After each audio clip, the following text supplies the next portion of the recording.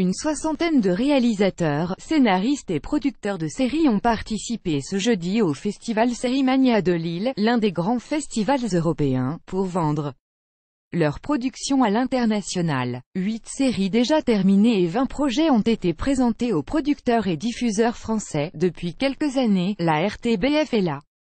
VRT investissent dans des séries ambitieuses qui rencontrent du succès non seulement chez nous mais aussi à l'étranger. Le but de la journée à Lille était de faire connaître encore plus nos productions et nos projets. Des acheteurs viennent de partout au festival Sérimania pour acquérir les séries qu'ils diffuseront prochainement. Jusqu'il y a peu, les francophones belges étaient absents de ce secteur. Mais depuis 5 ans, la RTBF a changé la donne. Cela a commencé en 2013 et les premiers projets ont été sur les écrans en 2016. Et pour la première fois en 2017 on aura eu quatre séries portées à l'écran. Donc c'est une industrie toute nouvelle et un secteur tout nouveau en Belgique francophone, explique Sylvie Cocard-Morel, responsable de la fiction à la RTBF, bientôt la série, Baraki, La Trêve, Ennemi Public, Euligol ou Unité 42 ont été des succès. Mais on reste bien loin de la production flamande qui existe depuis plus longtemps et qui produit beaucoup plus et avec de très gros moyens.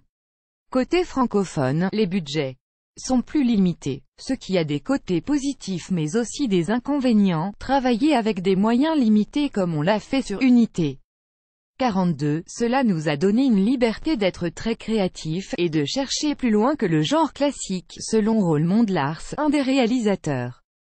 D. Unité 42. Le producteur de cette série, John Engel, poursuit, pour le moment on est arrivé à faire des choses qualitatives au niveau visuel et au niveau dramatique, avec des moyens limités.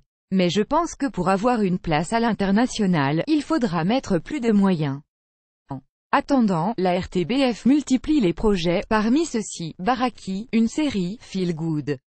Pour défendre le projet, l'équipe a endossé son plus beau training afin de tenter d'attirer des acheteurs présents à Lille, à Sérimania, l'intéressant c'est de pouvoir rencontrer des gens et éventuellement de pouvoir leur expliquer que cette histoire pourrait aussi se passer en France ou en Allemagne, et comment cette histoire peut être universelle et toucher toute l'Europe, dit Julien Vargas.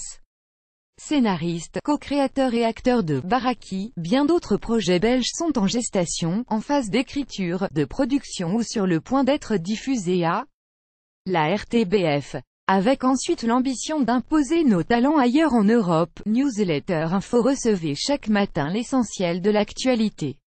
Ok ne plus affiché multiplié par